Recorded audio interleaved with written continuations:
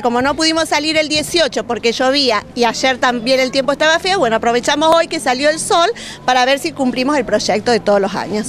¿Qué área trabaja en este proyecto desde la escuela? Bueno, eh, primeramente trabaja siempre sexto grado desde el área de sociales, lengua, eh, pero este año pusimos cuarto, quinto y sexto por ser el bicentenario de la bandera y eh, aparte porque Belgrano tuvo un papel muy importante en la Revolución de Mayo también, entonces aunamos todo eso que trabajamos con los chicos, bueno, y el trabajo final es el repartir escarapelas.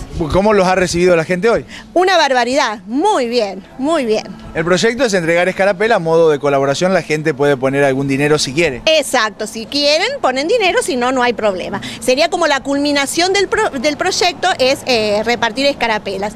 El proyecto este año se llamó em, La gente de mi pueblo con celeste y blanco. ¿El reparto es solamente por la mañana de hoy? Eh, ahora vamos a salir a la mañana de hoy, pero es muy probable que después el 20 de junio volvamos a salir. Porque mañana, eh, te quería comentar, eh, nos vamos eh, también de viaje a Rosario, también como un, parte de un proyecto, a visitar el Monumento a la Bandera. ¿Con qué cursos?